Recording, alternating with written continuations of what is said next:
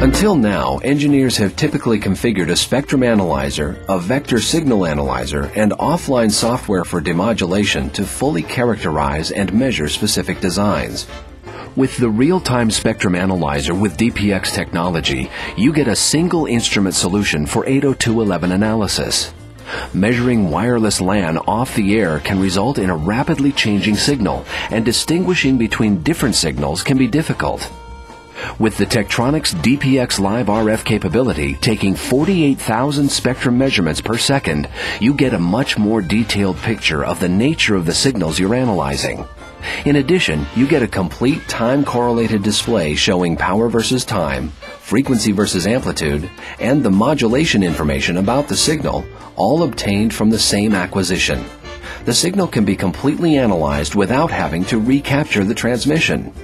When you do your analysis, if you move a data marker in one domain display, the RTSA will simultaneously update the analysis data in the other domains. And with built-in features such as auto detection of 802.11a, b, g, and n signals, the Tektronix RTSA is easy to set up too.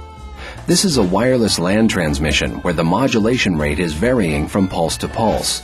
To analyze any pulse, you just set the analysis window around that pulse and the RTSA will automatically detect the modulation rate and demodulate the signal.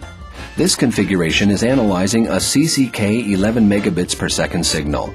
This one is looking at an OFDM 24 megabits per second, and this is an OFDM 54 megabits per second signal.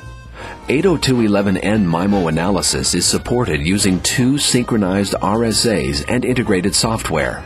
And the RSA 3408B is also capable of measuring the transfer efficiency. With features that give you greatly simplified analysis, one button measurements, and unique troubleshooting tools, the RTSA enables engineers to quickly characterize and troubleshoot wireless LAN designs.